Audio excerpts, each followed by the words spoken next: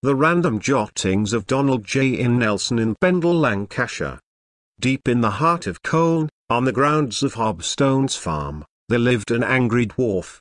He was a being that was part fairy and part ghost, feared by all who knew of his existence.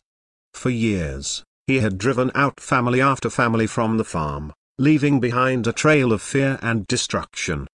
The dwarf was said to be particularly terrifying, with a bleeding severed arm as his most noticeable feature. His presence was known to be accompanied by the sound of phantom cavaliers, and violent poltergeist outbreaks were a regular occurrence. Many had tried to exorcise the angry dwarf from the farm, but none had succeeded. He seemed to be a force that could not be reckoned with, and he continued to terrorize the inhabitants of the farm for years.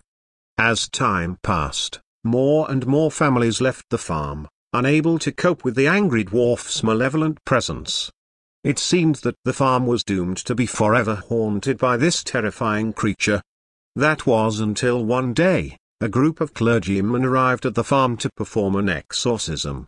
They had heard of the angry dwarf and his reign of terror and had come to put an end to it once and for all.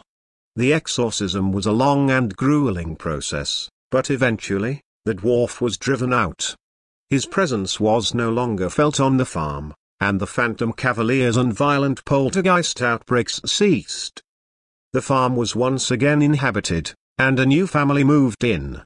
They had heard of the angry dwarf's past and were wary of what they might encounter, but to their surprise, they found that the farm was peaceful and free from any supernatural activity. The angry dwarf had been vanquished, and the farm was no longer a place of fear and terror.